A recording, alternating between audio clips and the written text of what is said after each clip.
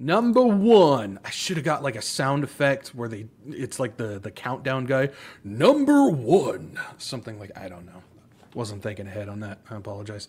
Uh, number one, flexible batteries, powering wearable technologies for healthcare and e-textiles. We're talking about flexible batteries because everybody knows battery is a large, not necessarily large, but it's a very hard object that if you try to attach that to your clothes, it's going to get in the way. Don't want to get it wet and all that type of stuff.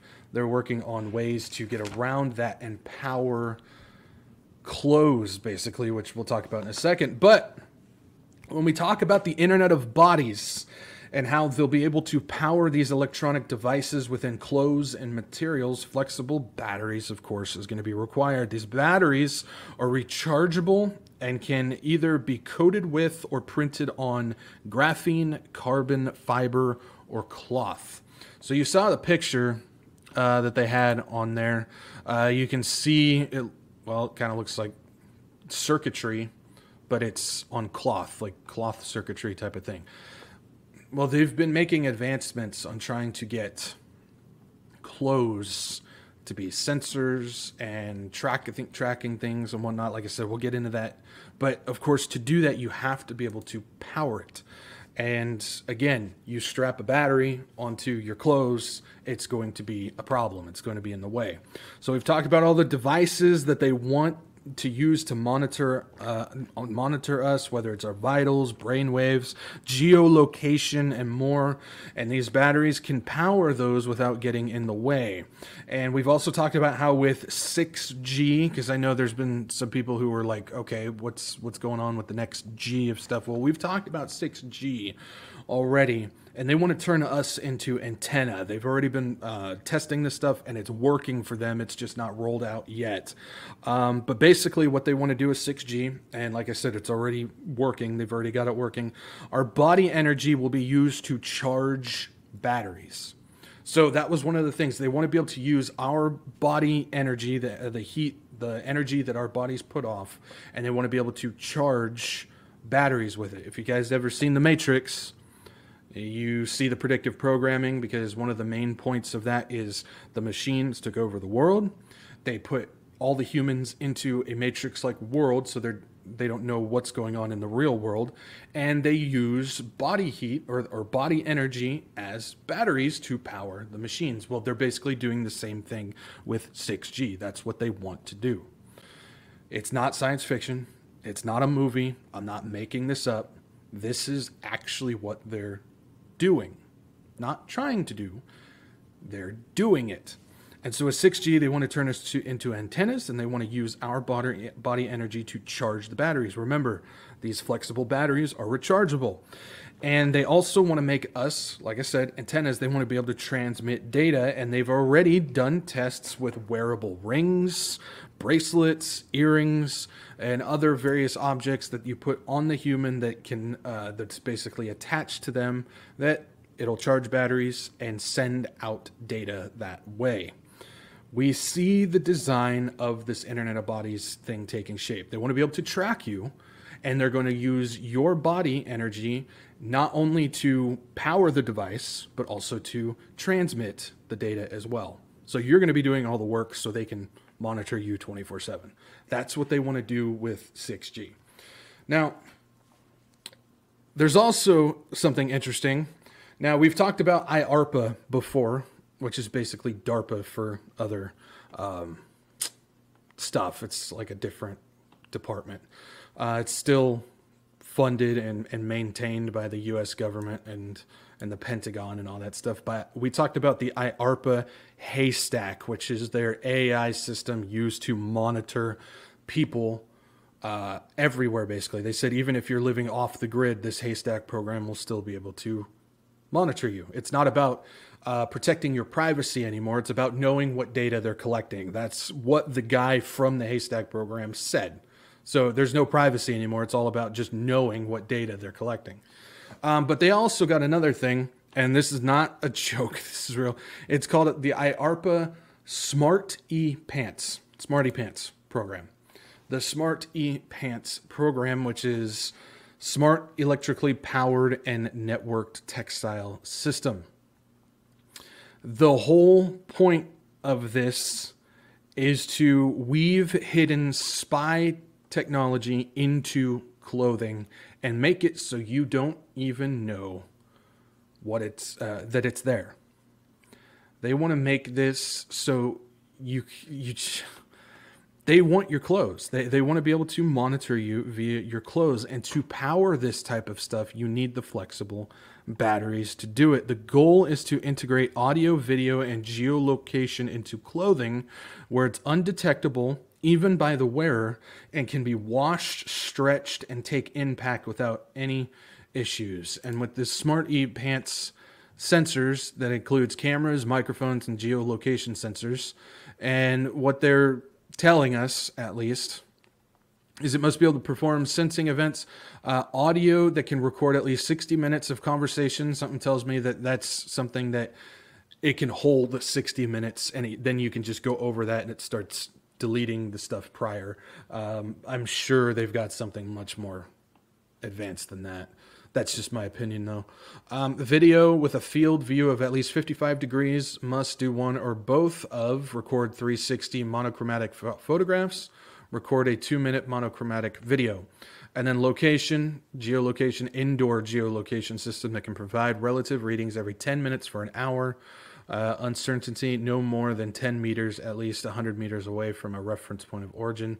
Assume an environment without access to global navigation systems yada, yada, yada. And so we're seeing what they want to do with this. Now, who's to say that they just don't start putting it in everybody's clothes without telling them?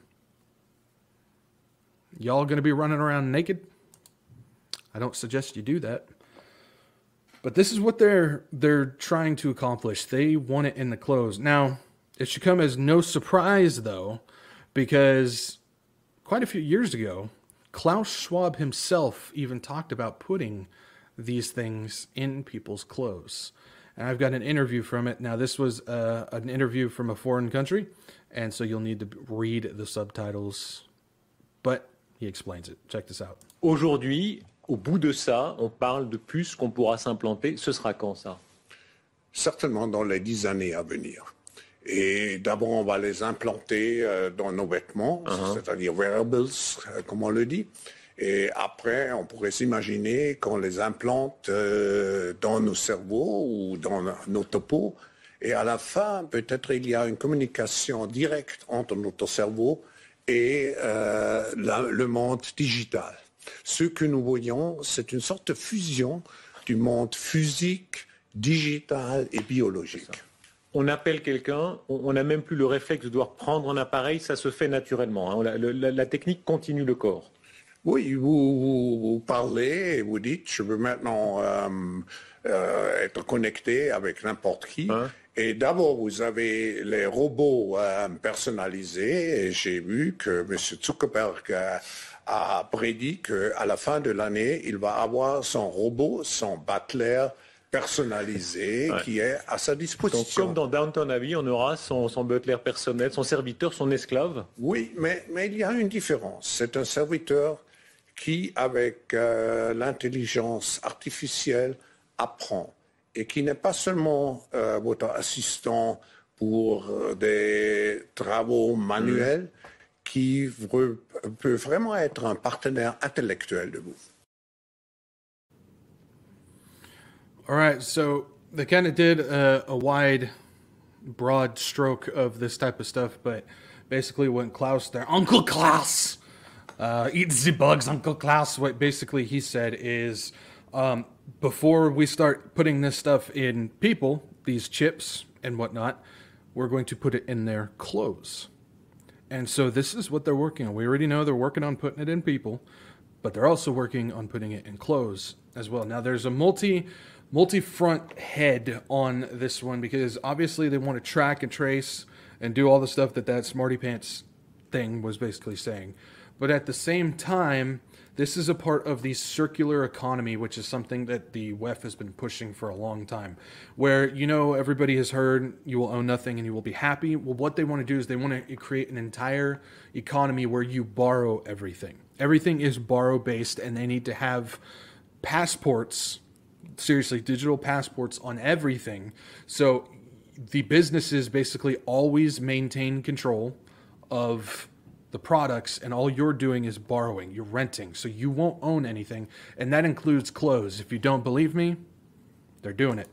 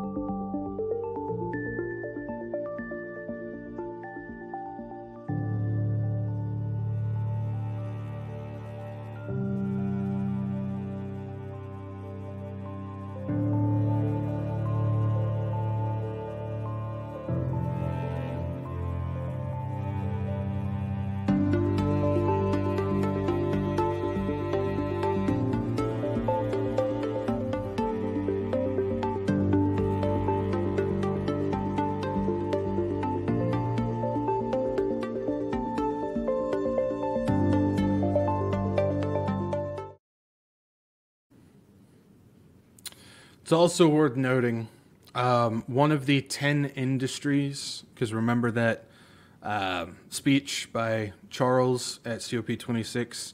He talked about the 10 industries, uh, who I believe are going to be the 10 kings. Uh, he named off five, and one of them was fashion.